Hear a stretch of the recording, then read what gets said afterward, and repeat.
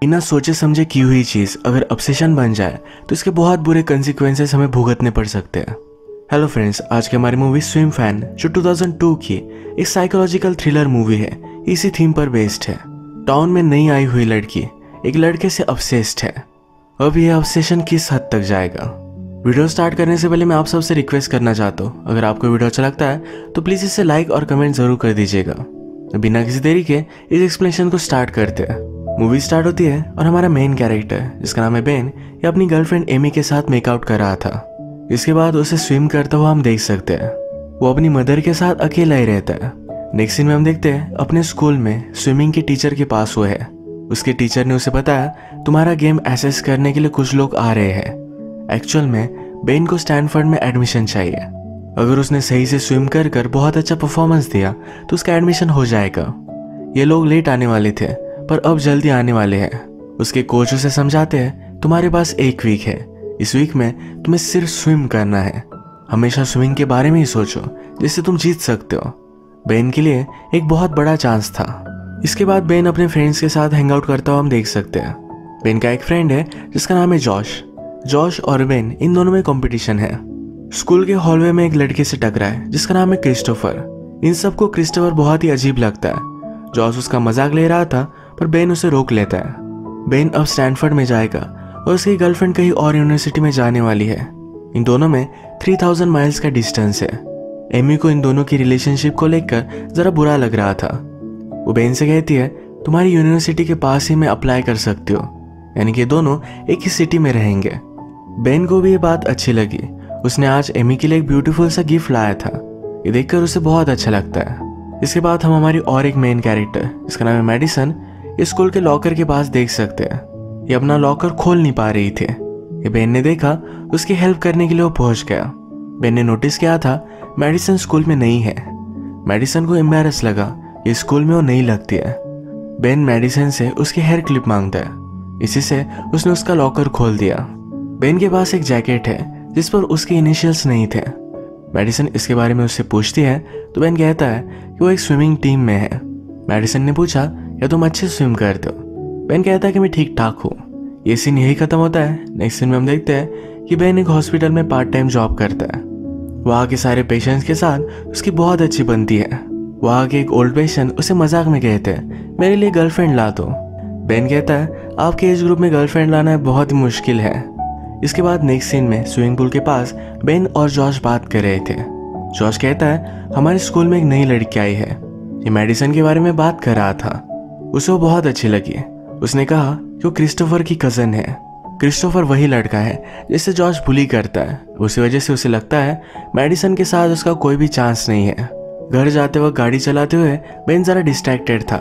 अचानक से उसके सामने मेडिसन आ गए। वो जल्दी से ब्रेक मारकर उसे बचा लेता है।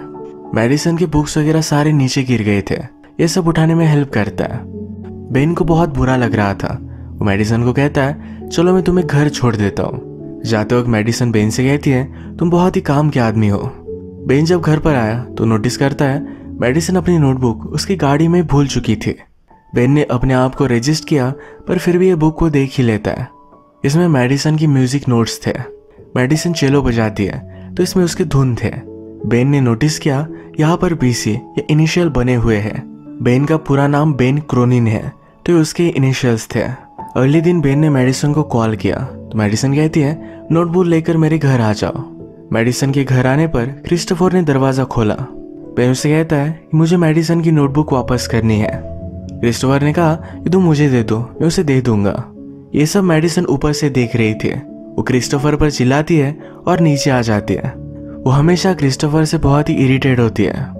उसने बहन से इसके लिए सॉरी कहा। वो कहती है कि आज मैंने लंच नहीं किया, शायद इसी वजह से मैं गुस्सा हूँ। बेन और मेडिसन, ये दोनों फिर एक कैफ़े में आए। मेडिसन बेन से पूछती है, क्या तुम हमेशा पिन से लॉकर खोलते हो? बेन कहता है कि ऐसा नहीं है। कुछ सालों पहले वो ट्रबल में आ गया था। वो ड्रग्स करता था। बहुत सारी इलीगल चीज़ें उसने की। ड्रग्स के लिए उसे पैसे भी चुराने पड़े थे। बाद में इस सब पुलिस को पता चला और उसे जेल में डाल दिया गया। बेन कहता है, ये सब मेरी लाइफ में होना, ये अच्छे के लिए हुआ। उसके जेल में स्विमिंग पूल था, जहाँ की क्लीनिंग का काम बेन के पास था। फिर क्या था? वो स्विमिंग करने लग गया और इसी वजह से आज वो एक टॉप प्लेयर है। बेन जब स्विमिंग करता था तो सारी प्रॉब्लम्स उसकी मिट जाती थी। मेडिसन कहती कि मैं समझ सकती हूँ। जब मैं चेलो बजाती हूँ तो मुझे ऐसा ही लगता है। वो वर्ल्ड की सब चीज़ों से एस्केप चाहती है। बेन पूछता है कि तुम अब यहाँ हो? क्या इससे भी एस्केप चाहते हो? मेडिसन ने कहा कि अभी नहीं। अब मैं तुम्हारे साथ हूँ तो उसे कहीं भी नहीं जाना। वो उसे फ्लर्ट कर रही थी। तो बेन कहता है, मेरी गर्लफ्रेंड है। मेडिसन के साथ कोई भी रिलेशनशिप नहीं रख सकता। मेडिसन कहती है, तुम मुझे बहुत पसंद आए थे, पर क्या करे? तुम सिंगल नहीं हो। वैसे भी मेरा न्यूयॉर्क में एक बॉयफ्रेंड है। हम एक दूसरे से दूर हैं तो हमें डेटिंग करना अलाउड है। बेन कहता है, मेरा फ्रेंड जॉर्ज तुम्हें बहुत इंटरेस्टेड है। मेडिसन ने कहा, पर मैं उसमें इंटरेस्टेड नहीं। बेन कहता है कि, चलो तुम्हें घर छोड़ देता हूँ। मेडिसन कहती है कि, मैं घर जाने के लिए रेडी नहीं हूँ। इनको स्विमिंग करनी थी तो यही देखने के लिए मेडिसन उसके साथ आई। उसे स्विम करता हुआ देखकर वो भी स्विमिंग पूल में आ जाती है। वो कहती है, मुझे स्विमिंग करना नहीं आता। प्लीज़ मुझे सिखाओ। मेडिसन उसके साथ न्यूड थी तो उसे देखकर बेन एक्साइटेड हो गया था। मेडिसन उसे किस कर लेती है। ये दोनों फिर यही इंटीमेट होने लग जाते हैं। मेडिसन बेन से कहती है, कहो कि तुम मुझसे प्यार करते हो। बेन को बहुत अजीब लगा तो कहती है, सिर्फ़ तुम्हें कहना है। इसका कोई भी मीनिंग नहीं है। बेन भी ये कह देता है। बेन ने मेडिसन को घर पर छोड़ दिया। मेडिसन कहती है, इसके बारे में किसी को भी पता नहीं चलना चाहिए। वो एक जोक नहीं बनना चाहती है। उसने पूछा, क्या हम अभी भी फ्रेंड्स रह सकते हैं? बेन हाँ कहता है। सुबह बेन को उसकी गर्लफ्रेंड का कॉल आया। उससे पूछती है, कल तुम उससे मिलने आने वाले थे। आए क्यों नहीं? बेन कहता है कि कल मुझे होमवर्क था तो उसके फ्रेंड के साथ ही था। जिस फ्रेंड का उसने नाम बताया, उसी की मदर इंजर्ड थी तो इसके बारे में एमी उससे पूछती है। बेन को इसके बारे में कुछ भी पता नहीं था पर फिर भी एमी को ज़्यादा कुछ शक नहीं गया। एमी ने बेन को उसका लॉकर चेक करने के लिए कहा। उसके लॉकर के ऊपर एक छोटा सा फूल था। एमी का लेटर उसे इसमें मिला। जिसमें लिखा है, तुम मेरे लाइफ में हो। तो मुझे बहुत ही प्राउड महसूस होता है। लेटर और फूल लेकर बेन एमी के पास गया। पर फूल उसे एमी ने नहीं दिए थे। बेन इससे सरप्राइज़ था। आज स्विमिंग करते हुए भी बेन का फोकस इधर उधर था। कल जो हुआ, इसके लिए उसे गिल्टी लगता है। तो इसी बारे में वो सोच रहा था। रात में इन सब फ्रेंड्स की पार्टी है। इस पार्टी में जॉश बेन से कहता है, आज मैं तुम्हारे आगे था। जॉश के फ्रेंड्स ने कहा कि आज बेन का कॉन्सेंट्रेशन नहीं था, वरना हमेशा तुम्हें हरा देता है। बेन यहाँ से निकलकर जब एमी से मिला तो एमी कहती कि मेरे फ्रेंड से मिलो मेडिसन ये दोनों एक दूसरे से इंट्रोड्यूस होते हैं, जैसे वो फ़र्स्ट टाइम मिले हो। बेन को ज़रा अनकंफर्टेबल लगा तो वॉशरूम चला जाता है। बेन की गाड़ी रास्ते में पार्क की हुई थी तो एमी जाकर इस गाड़ी को सही से पार्क करने वाली थी। बेन के पीछे पीछे मेडिसन आई। मेडिसन कहती है, तुम्हारी गर्लफ्रेंड बहुत अच्छी है। बेन ने कहा, तुमसे बात करना मेरे लिए ज़रा अनकंफर्टेबल है। मेडिसन कहती है, कहीं और जाकर बात करते हैं। बेन उसे समझाने की कोशिश करता है तो अस्कर कहती है कि मैं समझ गई। ज़्यादा मुझे समझाने की ज़रूरत नहीं। उसने कहा, मेरे इनरवेयर तुम्हारी गाड़ी में है। प्लीज़ मुझे ला कर दो। बेन रियलाइज़ करता है, गाड़ी देखने के लिए एमी गई हुई है। जल्दी से वहाँ से भागा और एमी गाड़ी खोल सके। इससे पहले उसने उससे चाबी ले ली। बेन जब ईमेल देख रहा था तो मेडिसन के उसे मेल आए थे। वो रिप्लाई नहीं करता तो मेडिसन उसे कंटिन्यूसली ईमेल करती है। बेन कहता है कि मैं स्टडी कर रहा हूँ, बाद में हम बात करेंगे। स्कूल में भी बेन मेडिसन को इग्नोर कर रहा था। ये बात मेडिसन ने नोटिस की। वो सही से स्विमिंग पर फोकस नहीं कर रहा तो उसके कोच उससे बात करते हैं। कहते हैं, एक वीक में तुम्हारा फ्यूचर डिसाइड होगा। इस तरीके से तुम परफॉर्म नहीं कर सकते। तुम में और तुम्हारी गर्लफ्रेंड में जो भी चल रहा है, इसे सही से सॉर्ट आउट करो। बेन जब घर पर पहुँचा, बेन की मदर के लिए फूल लेकर मेडिसन वहाँ आई हुई थी। बेन ने देखकर बहुत ही गुस्सा था। उसके पास आता है और कहता है, तुम्हें कुछ गलत लग रहा है। मुझे तुम्हारे साथ कोई भी रिलेशनशिप नहीं रखनी। मेडिसन कहती है, तुमने कहा था कि हम फ्रेंड्स रह सकते हैं। इसीलिए मैं तुम्हारे घर पर आई थी। शायद मैं तुम्हें गलत समझी थी। उस पर गुस्सा हो गई। नेक्स्ट डे पेन जब लाइब्रेरी में स्टडी कर रहा था तो उसे मेडिसन के बहुत सारे ईमेल्स आए। इसमें मेडिसन ने उसके न्यूड्स भेजे थे।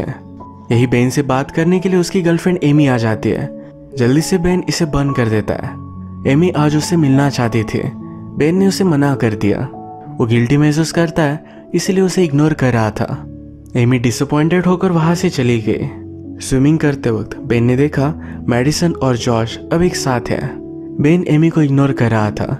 तो उसे मिलने के लिए आई कहती है कि तुम्हारे साथ रहने वाली हो। अगर इससे तुम्हें टेंशन आता है तो ये भी फाइन है। कोई भी प्रॉब्लम नहीं है। बेन कहता है कि ऐसा कुछ भी नहीं। वो उसके साथ ही रहना चाहता है। आजकल सिर्फ़ जरा टेंशन में था। नेक्स्ट सीन में लॉकर रूम में मेडिसन बेन से मिलने के लिए आए। वो उससे कहती है, मैंने ऐसा क्या गलत किया? प्लीज़ मुझे बता दो। जॉश मेरे लिए कोई भी मायने नहीं रखता। वो सिर्फ़ उसे चाहती है। बेन कहता है कि मैं तुम्हारे साथ नहीं रह सकता। मेडिसन कहती है, अपनी गर्लफ्रेंड के साथ ब्रेकअप कर लो। बेन कहता है, मैं तुम्हें छोड़ना चाहता हूँ। क्या तुम्हें समझ में नहीं आता? मेडिसन कहती है, पर तुमने मुझे आई लव यू कहा था। बेन और भी गुस्सा हो गया। कहता है, तुमने मुझसे कहा था आई लव यू कहने के लिए। इसका कोई भी मीनिंग नहीं था। मेडिसन को यहाँ अपना कंट्रोल लूज करते हुए हम देख सकते हैं। बेन जब अपने काम पर था तो सबको मेडिसिन दे रहा था। एक पेशेंट को इसका रिएक्शन आ गया। हॉस्पिटल स्टाफ को पता चला, बेन ने सबको गलत गोलियाँ दी बेन ने रियलाइज़ किया, अपना कार्ड छोड़कर वो थोड़ी देर के लिए कहीं चला गया था। उसे लगता है, मेडिसन ने उसका कार्ड चेंज कर दिया। इस पर बेन बहुत गुस्सा हो गया था। उसके पास आकर उसका गला दबाकर उसे धमकी देता है। कहता है, मेरे आसपास भी मत दिखना। हॉल में अगर मैं दिखूं तो अलग रास्ते से चले जाना। तुमने आज जो किया, इससे लोग मर सकते थे। बेन फिर एमी से मिलने के लिए गया। जो भी हुआ, ये सब उसे बता देने वाला था। एमी को आज लेट रात तक काम करना पड़ेगा। तो कहती है, कल हम स्कूल में बात करते हैं। अगले दिन जब बेन स्कूल में पहुँचा तो सबको पता चल चुका था कि मेडिसन और उसमें अफेयर है। वो एमी के पास आया तो एमी उसे स्लैप कर देती है। वो उसे सॉरी कहता है। एमी ने पूछा, तुमने किया क्यों? बेन के पास कोई भी आंसर नहीं था। बेन की अब स्विमिंग की कंपटीशन होने वाली थी, इसलिए उनकी यूरिन वगैरह चेक की गई। कंपटीशन का दिन आया। बेन को सपोर्ट करने के लिए आज यहाँ कोई भी नहीं था। सिर्फ़ मेडिसन थे। अचानक से बेन के कोच को कुछ पता चला। बेन से आकर कहते हैं तुम डिस्कालीफाइड हो। तुम्हारे यूरिन से हमें पता चला, तुम स्टूराइड्स लेते थे, जो यहाँ पर अलाउड नहीं है। बेन कहता है कि मैंने ऐसा कुछ भी नहीं किया। वो बहुत ही डिस्टर्ब हो चुका था। उसने मेडिसन और जॉश को एक साथ देखा था। उसे लगा इन दोनों ने मिलकर उसे फंसाया है। वो जॉश को कन्फ्रंट करता है। पर जॉश उसे उठाकर पानी में डाल देता है। बेन जब घर पर आया तो उसकी मदर उसे बहुत ही डिसअपॉइंटेड थी।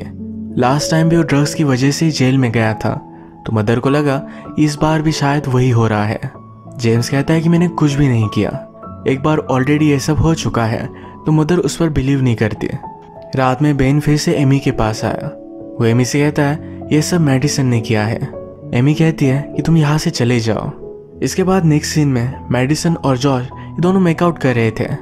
मेडिसन यहाँ बेन का नाम लेती है, जिसे जॉर्ज बहुत ही चिढ़ गया। जॉर्ज कहता है कि जो बेन ने कहा, ये सब कुछ सच था। वो कभी भी स्टूराइड्स नहीं लेगा। तुमने उसे फंसाया है। ये सब जाकर वो जॉर्ज को बताने वाला था। बेन को स्विमिंग टीम से निकाल दिया गया है। लास्ट टाइम वो पूल में स्विम करता है, जहाँ पर डायरेक्टली उसे जॉश की बॉडी ही मिलती है। मेडिसन ने उसे मार डाला था। बेन ने यह सब रिपोर्ट किया और पुलिस का सारा शक ये बेन पर ही था। बेन को मेडिसन के खिलाफ कुछ ना कुछ तो सबूत चाहिए था। यही ढूँढने के लिए उसके रूम में वो आया। मेडिसन का उसे एक बॉक्स मिला। इसमें बेन जिस भी गेम में जीता है, उस सब के न्यूज़पेपर कटिंग्स है। उसके पास बेन और एमी की फ़ोटो भी थी, पर एमी की फ़ोटो के ऊपर मेडिसन ने अपनी फ़ोटो लगा दी थी। इस बॉक्स में बेन को मेडिसन के एक्स बॉयफ्रेंड का फ़ोटो भी मिला। बेन को मेडिसन के रूप में क्रिस्टोफर देख लेता है। वो बेन से कहता है कि जल्दी से तुम यहाँ से चले जाओ। अगर मेडिसन को पता चला तो तुम्हें वो मार देगी। बाहर आने पर क्रिस्टोफर बेन से कहता है, मुझे तुम्हें कुछ दिखाना है। क्रिस्टोफर फिर मेडिसन के एक्स बॉयफ्रेंड के पास बेन को लेकर आया। उसका एक्स बॉयफ्रेंड कोमा में था। शायद ये उसका हाल भी मेडिसन ने किया हो। बेन को पता चला कि वो भी एथलीट है। शायद इसी वजह से मेडिसन को बेन पसंद आया था। बेन की गाड़ी मेडिसन के घर के बाहर थे। उसने गाड़ी ली और एमी से टकरा दी। एमी को हॉस्पिटल में एडमिट किया गया। बेन की मदर डॉक्टर ही है तो बेन को कॉल कर देती है। वो कहती है, पुलिस को लगता है तुमने एमी को मारने की कोशिश की। तुम हॉस्पिटल में वापस मत आना। बेन कहता है कि एमी अब तक सेफ़ नहीं है। मेडिसन फिर से उसे मारने की कोशिश करेगी, पर बेन इस हॉस्पिटल में आ नहीं सकता। अब हम हॉस्पिटल में मेडिसन को देखते हैं। वो डॉक्टर के कपड़े पहनकर एमी के रूम तक जा रही थी। मेडिसन एमी को मार ही देती, तभी माइक पर अनाउंसमेंट हुई। इस पर मेडिसन के एक्स बॉयफ्रेंड का नाम लिया जा रहा था। इस अनाउंसमेंट से वो पार्किंग में पहुँच जाती है। मेडिसन को लगा कि उसका बॉयफ्रेंड यहाँ है।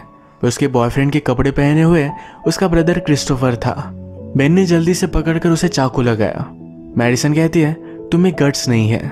बेन कहता है, तुम्हारी वजह से सबको लगता है। मैंने जॉश को मारा। मेडिसन कहती कि मैंने ये सब सिर्फ़ तुम्हारे लिए किया। तुम मुझे कभी भी मार नहीं सकते। मेडिसन को बेन बहुत स्टूपेड लगता था, पर बेन ने ये सब बात रिकॉर्ड कर ली। इस टेप में मेडिसन का पूरा कन्फेशन है। इसके बाद वो पुलिस को बुलाते हैं और सब कुछ सॉर्ट आउट हो जाता है। मेडिसन को जब पुलिस लेकर जा रहे थे तो मेडिसन ने उनकी गन ली और उन्हें मार डाला। बेन को इसके बारे में कुछ भी पता नहीं था। वो एमी के पास आया। उसे कहता है कि तुम ही मेरी सब कुछ हो। मैं लाइफ में कुछ भी करूँ, पर फिर भी हमेशा तुम्हें ही चाहता रहूँगा। मुझसे गलती हो गई। प्लीज़ मुझे माफ़ कर दो। वो रो रहा था तो एमी ने उसे माफ़ कर दिया। बेन फिर घर आता है। घर आने के बाद उसे नीचे से कुछ आवाज़ आई। उसने देखा तो उसकी मदर बेहोश पड़ी थी। मेडिसन ने पीछे से उस पर वार किया और उसे भी बेहोश कर दिया। बेन को जब होश आया तो अपनी मदर के लिए हेल्प मंगवाता है। वो एमी को देखने के लिए गया तो गायब थी। उसे मेडिसन का कॉल आया। मेडिसन उसे स्विमिंग पूल बुलाती है। बेन वहाँ पहुँचा तो मेडिसन ने एमी को एक व्हीलचेयर से बाँध दिया था। वो कहती है, मेरी तरह तुमसे कोई भी प्यार नहीं करेगा। कहकर उसने एमी को पानी में पुश कर दिया। बेन जम मारता है, पर एमी के हाथ पर हथकड़ियाँ बंधी हुई थी। उसे अपने पैंट्स में मेडिसन की हेयर क्लिप मिली। इसी से उसने एमी को छुड़ा लिया। वो पानी से ऊपर आने की कोशिश कर रहा था, पर मेडिसन उसे आने नहीं देती। इस कोशिश में वो भी पानी में गिर गई। उसने बेन के लेग्स पकड़ कर रखे थे। उसके साथ मर जाना चाहती थी। मेडिसन उसे डुबाने की बहुत कोशिश करती है पर बेन ऊपर आ गया। उसने एमी को बचा लिया। जैसे कि हमें पता है, मेडिसन को स्विम करना नहीं आता तो पानी में डूब कर ही उसकी डेथ हो गई। अब इसके बाद देखते हैं, कुछ टाइम गुजर चुका है। बेन अब स्विमिंग टीम में नहीं रहा, पर वो एमी के साथ है तो खुश है। इसी मोमेंट पर इस मूवी का एंड हो जाता है। बेन की गलती, उसे बहुत भारी पड़ी। अगर आपको वीडियो अच्छा लगा तो प्लीज़ इस वीडियो को लाइक कर दीजिएगा। मैं बहुत सारी मूवीज़ लेकर आता रहता हूँ तो प्लीज़ इस चैनल को सब्सक्राइब कर दीजिए और बेल नोटिफिकेशन आइकन दोनों मत भूलिएगा। हम फिर से मिलेंगे और एक नई मूवी के साथ। तब तक के लिए थैंक यू आप अपने आप का ख्याल रखिए।